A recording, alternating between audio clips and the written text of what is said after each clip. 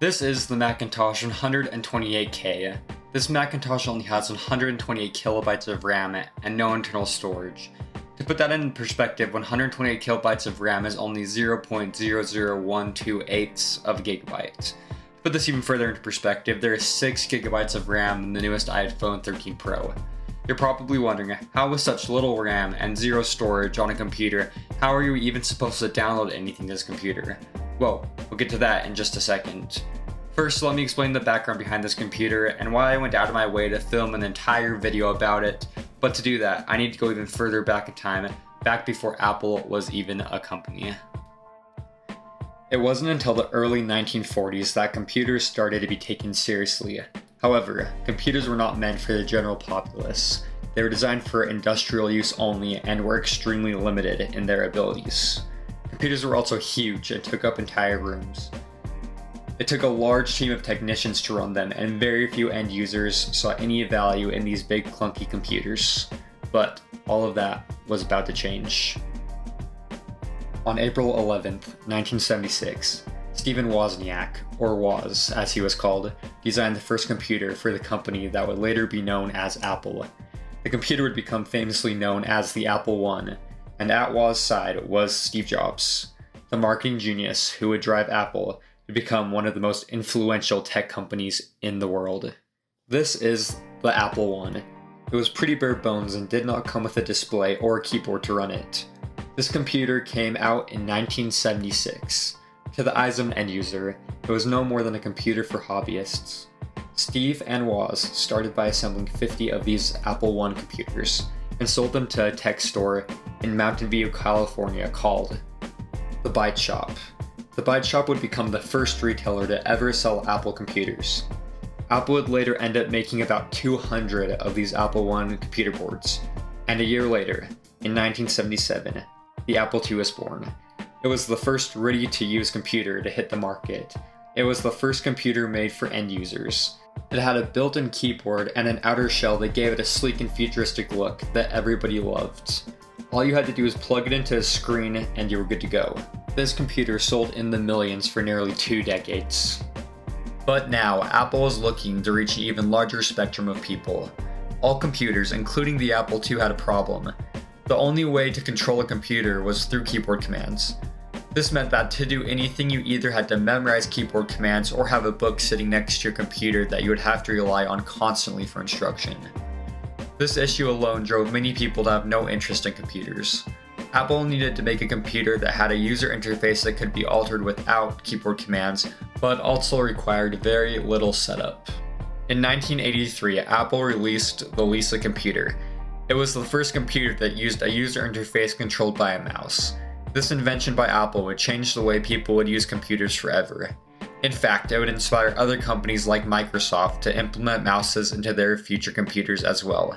But there was another problem with this computer. It was overpriced and underpowered.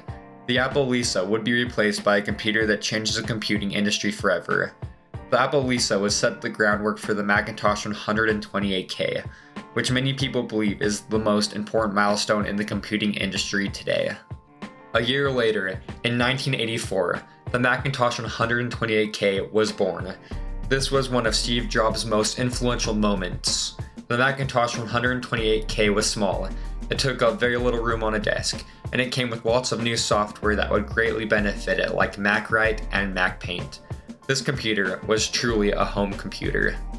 I am lucky enough to have acquired my own Macintosh 128K from my grandfather, so today I will be setting it up for you guys and showing you what it was like to use a Macintosh in 1984. Like I said earlier in the video, the Macintosh 128K is extremely easy to set up. First, you plug in the power cable. The next step is plugging in the mouse. The mouse plugs into the back of the Macintosh using a VGA cable. The next step is plugging in the keyboard. The keyboard is plugged in with this cable right here in the front of the Macintosh. Next, the keyboard is plugged in with this small port on the back of the keyboard. And once that's plugged in, you have successfully set up the entire Macintosh and it is ready to be powered on. But first, let's look at some of the documentation that comes with the Macintosh 128K. In 1984, many people still did not know how to use a computer. So Apple shipped out the Macintosh with extremely detailed manuals on how to use a computer. Inside the manual, there are lots of pictures and text describing what this thing is capable of. And I've read a couple of the pages of this manual, and Apple was able to make this computer so user friendly that even a child could use it. And I don't know about you guys, but I think this instruction manual is very visually pleasing. One of my favorite parts of this instruction manual is the page that teaches you how to use a mouse, because in our day and age, using a mouse is second nature.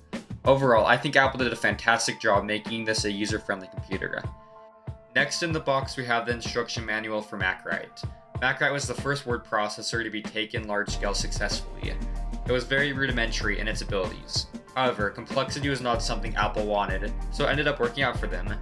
Like the Macintosh manual, the manual is very easy to understand. It shows you how to change fonts, format your margins, change your spacing, and all that other good stuff. Once you were done typing your document, all you had to do was hit print and you were good to go. This software was the start of the word processor, and it is really, really cool. Next in the box we have MacPaint. MacPaint was the first graphical art program ever. It was in black and white of course since the Macintosh 128K was in black and white, but it still had a lot of really cool features. You could paint, you could draw, make shapes, and much more. It took full advantage of the mouse and gave people the freedom to let their imagination run wild. MacPaint set the groundwork for graphical art programs that we use today. In fact, Apple tried to sue Microsoft for copying MacPaint software and using it on their computers a couple months after it released. Unfortunately, Apple lost this lawsuit. Next, we have a guided tour of Macintosh, MacWrite, and MacPaint. This tape would give basic instruction on how to use the software that was described in the manuals. This was another way Apple tried to make the Macintosh a more user-friendly computer. Personally, I would definitely use the tape because I hate reading instruction manuals, and I just hate reading in general. Unfortunately, I do not own a tape player, so I have not been able to listen to this tape but it is still a fantastic idea from Apple, and I hopefully will be able to listen to this tape soon. Now, like I said in the beginning of the video, this computer only has 128 kilobytes of RAM and does not have any internal storage. That is where these disks, which are popularly known as floppy disks, come into play. They stored entire software programs that allowed any type of program that you would be running on the Macintosh to work. Once inserted into the Macintosh, the floppy disk would then upload small data packets from the disk onto the 128 kilobyte RAM on the Macintosh, allowing the computer to display information from the disk. This meant that in order to even use a basic program, the Macintosh would have to constantly be uploading and offloading data from its RAM in order to not run out of space on the RAM. Most floppy disks came with the system file, but if they didn't, you'd first have to insert the system disk and then you would have to eject the system disk and insert your desired software. Sometimes you'd have to switch between the system disk and your software disk multiple times just to get one single program to load, which actually took a really long time. Once the system disk is installed, it is time to turn on the Macintosh. It is actually very surprising how fast the Macintosh 128K starts up for being made 38 years ago.